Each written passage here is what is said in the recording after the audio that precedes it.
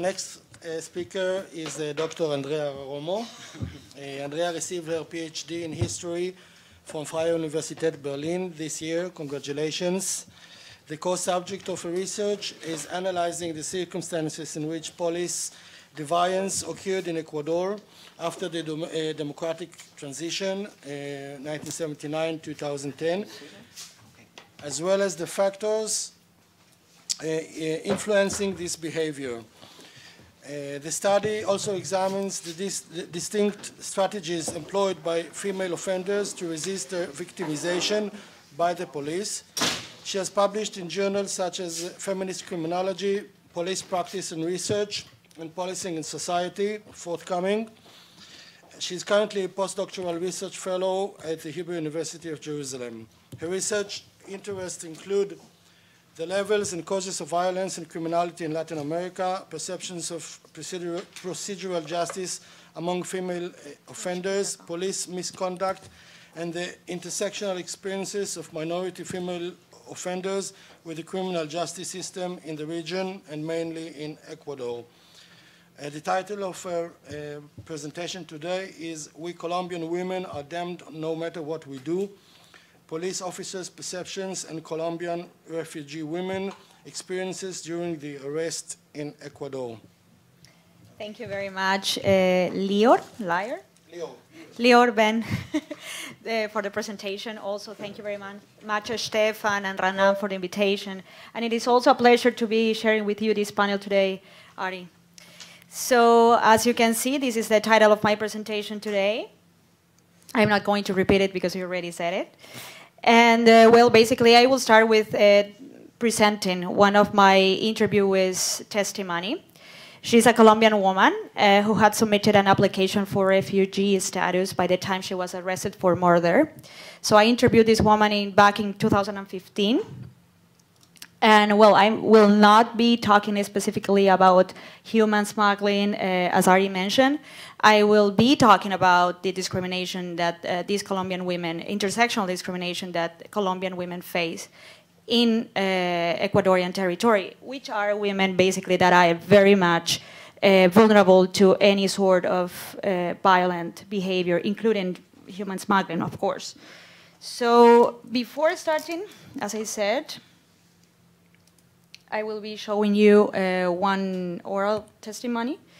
I was planning to show you a video, but since everybody it's a broadcast in video and online, it's not possible for me to show you the face of the person. So you will only hear her testimony. And by the way, it's in Spanish, but I was told that everybody will be able to understand. Okay. Yo soy detenida por asesinato. Uh -huh. eh, fui detenida en el 2009. Fue la muerte de mi compañero, eh, del novio de mi compañera. Yo compartía apartamento con una chica colombiana también. Y el novio fue asesinado. Cuando a eso de las 10 de la mañana más o menos llegaron los agentes, dos agentes del GAO. Llegaron eh, de civiles en un carro particular, sin placas de ningún oficiales para nada, eh, sin ninguna orden, preguntando por las dos porque fuimos las dos últimas personas supuestamente que lo vimos con vida. Entonces nos dijeron que si lo podíamos acompañar hasta las oficinas para, para hacer la declaración, una, una, versión libre de los hechos. Y nosotros accedimos, sí, no hay ningún problema. O sea, la verdad es que para mí por aquí, de lo que se venía encima, o sea, ni por aquí. Ya nos montaron en el carro, en el momento que nos montaron en el carro fue el suplicio. Ahí empezó todo. Y de hecho nos nos tildaron de culpables en ese mismo instante. O sea, dos agentes delegados que no tenían ni idea quiénes éramos, que no tenían ni idea, eh, no habían hecho ninguna investigación pertinente para dar una conjetura como esa. Nos dijeron desde ese momento, ustedes fueron los que los mataron, ustedes son un par de asesinas eh, colombianas tales y cuales, hijas de tales y cuales, que vienen a mi país a hacer esto y esto y esto. A ver, en el carro duramos más o menos un transcurso de media hora hasta que nos llevaron a una casa y a Carolina la ponen en una habitación y a mí me ponen en otra y yo escucho cómo la están golpeando. Me estaban interrogando y ya luego como que cambiaba porque ya dejaba de escucharla a ella y, y empezaban a, golpearme, a golpearme a mí. Pero era súper gracioso porque solamente me golpeaban de aquí para abajo. O sea, la cara no me lo tocaban jamás. Jamás me tocaron la cara. Pero el cuerpo era lleno de moretones. O sea, mis costillas no servían para nada. Yo, a mí me dolía hasta respirar. Y me metían la cabeza en, en, una, en un baldecito con Coca-Cola. O sea, era, fue terrible. O sea, y fue desde las 11 de la mañana más o menos que llegamos a esa casa, tipo mediodía más o menos, que llegamos a esa casa hasta casi las 10 de la noche cuando a esa hora nos dijeron que el juez iba a emitir la orden de captura a nosotros. O sea, nosotros estuvimos casi, casi 12 horas detenidas y siendo maltratadas físicamente y psicológicamente sin una orden pertinente, o sea, detenidas ilegalmente. O sea, el hecho de yo enfatizarles que yo sabía mis derechos porque yo era una abogada y que yo eh, contaba con mi título profesional y litigaba y ejercía en mi país, eh, eh, era motivo de, burla para ellos. O sea, simplemente lo tomaban como broma y como que sí, la doctorcita que viene a, a putear, porque esos eran los, términos que, utilizaban, que vienen a trabajar en un chongo y a matar a, a, a cual pelagato que se les atraviese, y como términos así, o sea, simplemente el, el, hecho de mi educación fue irrelevante para ellos, o sea, era, era un motivo más para, para que fuera objeto de su burla, o sea, era, por eso llegó un momento en que yo dejé de decir que era abogada, porque sentía que me iba mejor cuando me quedaba callada. Simplemente por el hecho de ser mujeres, eh, ya tenemos el, como yo decía anteriormente, ya la marquilla, ¿no? De que somos prostitutas. Mientras que el hombre colombiano tiene la marquilla de ser sicario, ¿no? Entonces simplemente por el hecho de ser colombiano sicario les da, aunque, aunque, sea por temor, pero mantienen un poco el, la distancia. ¿no? no sé si fue por mi tendencia sexual que... Eh, ¿Tú enfatizaste eso también sí, durante la detención? Sí, sí, obviamente. ¿Por qué lo hiciste? ¿Por qué lo creíste necesario? Porque eh, en el momento que decían que era prostituta y que cuando supuestamente eh, por, eh, nos excedimos con un cliente, porque eso fue lo que dijeron al principio, yo enfatizaba, es que yo soy lesbiana, yo no soy prostituta, a mí no me gustan los hombres, ¿cómo me voy a propasar con un cliente si es que yo no me dedico a eso? A mí no me gustan los hombres. Entonces, es, les daba un poco de, hasta podría decirle en ese momento, que, que ellos eh, en, con sus expresiones eh, mostraban con un poco de asco, ¿no? Por mi tendencia sexual, mientras que con mi compañera no, o sea, mi compañera sí fue manoseada, no fue violada para nada, pero sí fue acosada, fue acosada sexualmente por ellos. Okay. Um, I guess that it's a little bit strong what she had to say about the police in Ecuador, and uh, well, um, we will see later that this is not the only case of a Colombian woman, a person who is an asylum seeker or a refugee uh, in Ecuador that is a victim of such behavior or mistreatment by the police. So uh, I will come back to Lily's testimony later on during this presentation, but first I would like to explain briefly some of the uh, these papers' background or context. So, as you may know, there are several factors that influence or that have influenced the migration or the increase in migration of Colombians to Ecuador. Uh, so, Ecuador has started to attract a significant number of Colombian refugees and immigrants as early as the 1950s. Many left Colombia for economic reasons. We can elaborate more on that later. And of course, there is also the factor of the geographic proximity of the two countries.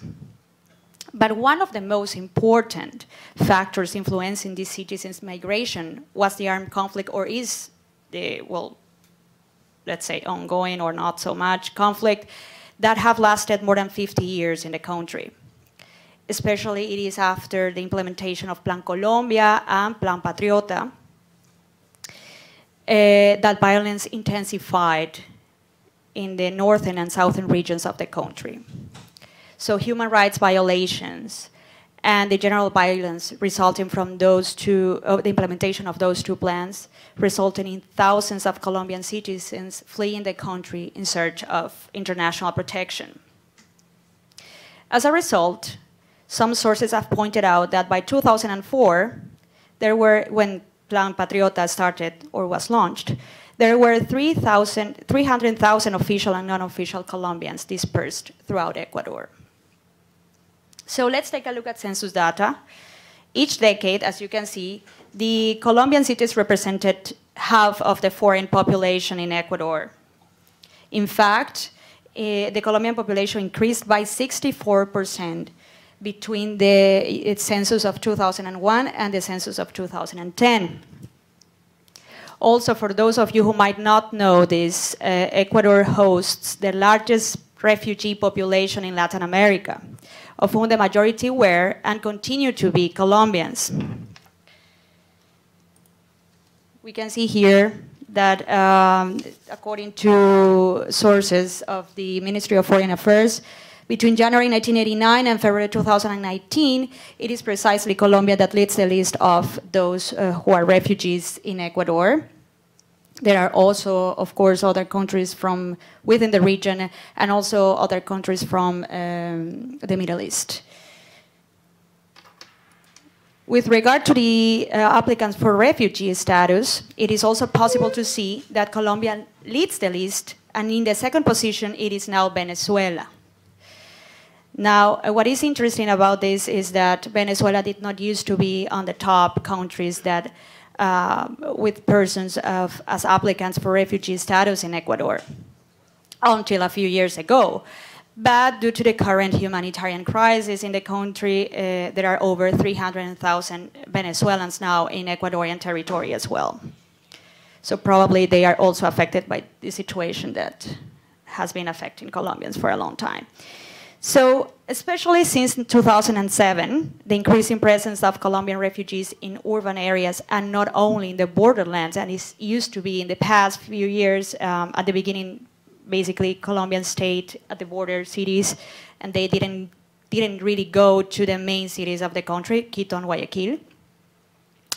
So uh, by, they, by the time that they decided to enter Quito and Guayaquil and other big cities of the country, this created social tensions or social distress. In fact, more than 50% of Colombians refugees and asylum seekers were living in the two most populated provinces and urban centers of the country, Pichincha and Guayas, by 2010. So, with increasing visibility of Colombians in big cities, the media and the political discourse began to strongly associate their presence with increasing levels of crime and insecurity in the country. This situation affected public perceptions regarding the arrival of those Colombians seeking refuge. The Ecuadorian media has frequently portrayed Colombian male refugees as, and some immigrants also of Colombian origin as the leaders of criminal organizations engaged in drug crimes, money laundering, and hired killings. While Colombian women have often been associated with sex work and crimes related to that profession. I don't know if you have heard of Dulce Sueños, for example. I don't know, maybe in Colombia or in other countries you also have that uh, type of crime, you know, that which is conducted by usually by women. So several media and political prejudices are rooted in the imaginario of many Ecuadorians, including law enforcement officials since then. Now, I'm not going to go uh, over the details of uh, the media and the political discourse that have affected Colombian immigrants and Colombian refugees, but it is important to highlight here that um, this seriously contributed to the circulation of several stereotypes, negative stereotypes, and negative uh, generalizations about this population in the country. And of course, these stereotypes have affected men and Colombian men and women differently. Now, I'm going to present some of the, these research results. I think it's, there's no need to explain about the research questions, but those are the ones that I use for this particular paper. And uh, uh, before continuing with uh, the presentation of results, it is important to tell you that this was, these results that I'm presenting today are part of a larger project where I worked with uh, 51 interviewees, female inmates, in, uh, who were interviewed in the three most populated prisons of the country. I also worked with 50 in-depth interviews with police officers and more than 5,000 female prisoner files, and also uh, court documents produced since the 1980.